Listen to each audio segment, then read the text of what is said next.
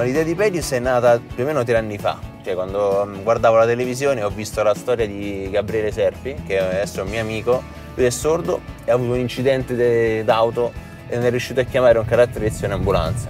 No, Perius è un servizio che fa telefonare le persone sorde. In pratica utilizziamo, trasformiamo una chat in una telefonata grazie alla tecnologia, quindi avendo una voce artificiale e un orecchio, un software che fa d'orecchio e trascrive i messaggi in tempo reale.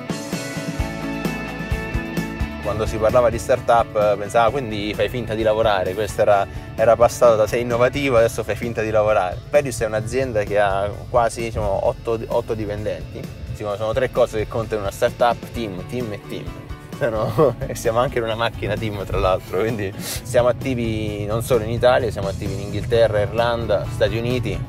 Noi grazie, grazie a Internet siamo riusciti a lanciare negli Stati Uniti, in Inghilterra senza spostarci da Roma.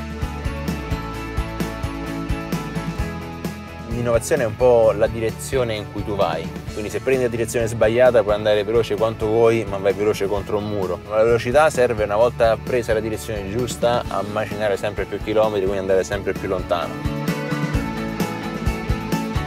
La rete è importantissima perché è un po' una livella, oltre a eliminare le distanze toglie anche le disuguaglianze, quindi la persona sorda può interagire senza nessuna difficoltà con chiunque sia nel mondo. Le persone sorde ci tengono a essere definiti sordi e non udenti perché non udente mette in risalto quello che loro non hanno, mentre loro hanno una cosa in più.